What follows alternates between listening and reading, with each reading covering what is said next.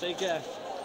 Hi, Tom. Hi, how are you doing? Doing great. Right, Thanks for the photo. My pleasure. Um, I wanted- signing this? Yeah, please. Great, That's of my course. movie book. It's a beautiful picture. Thank isn't you. it? Yeah, it's, it's, great. It's a few Love years it. ago now, doesn't it? Yeah, I If love I it. sign my forehead, will that be offensive? That no, not at You'll all. be okay with that, will? Yes, Just- absolutely. Just, no name, just uh, yes, done. absolutely.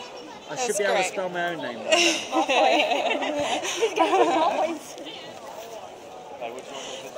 Wanted to ask too. You're, you've got a TV series coming out, The. Labyrinth. Yeah. Yes. Tell me about that. What's that about? I can't find anything about It's it yet. uh, it's it's based on a famous novel. There's a novel out. Um, it's based. It's 21st century, and it also cuts into 11th century. oh wow.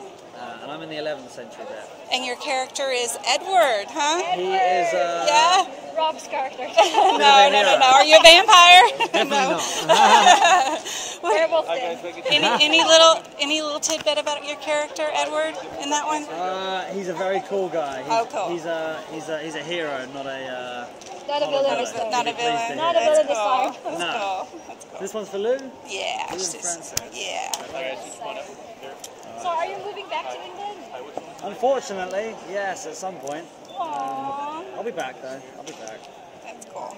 I have to go and do a few things, but I'll be back in the summer. I hope. Oh, cool. That's awesome.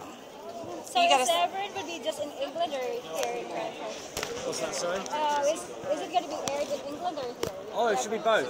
Um, it should it should come out here as well. I'm not sure which network's picking it up yet, but I'll be excited to find out when it is. Can't wait. Thank you. This yours as well? Yeah.